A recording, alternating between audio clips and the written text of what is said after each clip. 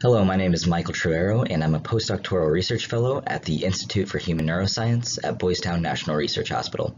I'd like to thank DMCN for allowing me the opportunity to post this video podcast over our recent work on the microstructural changes within the spinal cord of adults with cerebral palsy. Previous work has demonstrated that in response to an insult to the developing brain, there are a series of neuroplastic changes that occur both within the brain and within the spinal cord.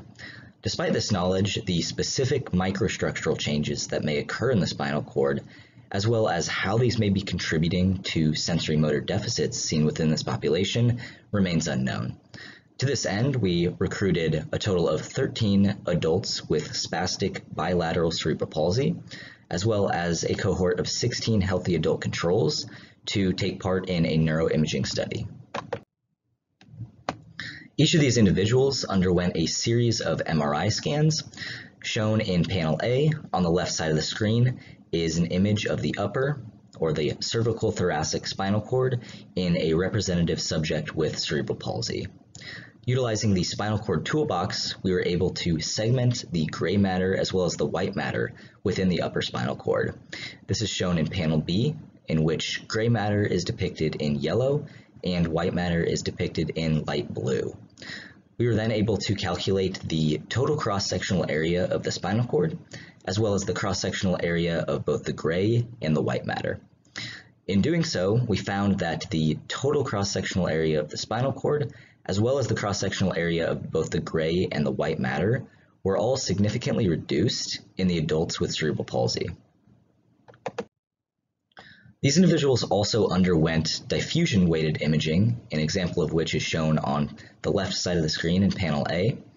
And from this, we could extract fractional anisotropy, which is generally a measure of the integrity of white matter tracts.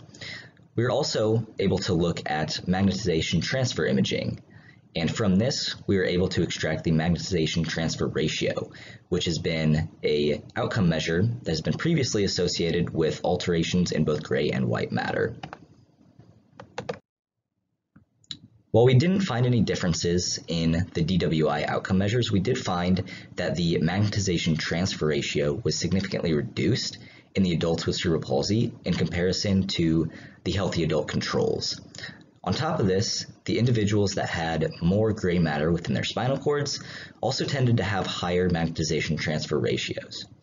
Finally, and importantly, several of the outcome measures from our spinal cord data were significantly associated with hand functioning as measured by the box and blocks test.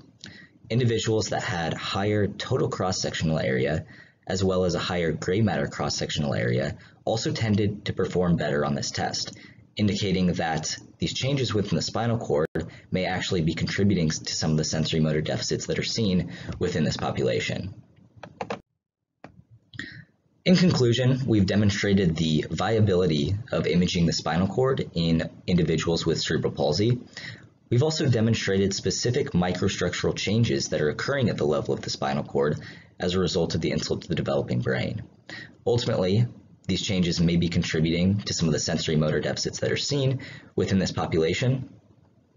And future studies can expand on this by identifying other ways in which the spinal cord may be impacting the different deficits that are seen. Thank you for listening and feel free to contact me with any questions.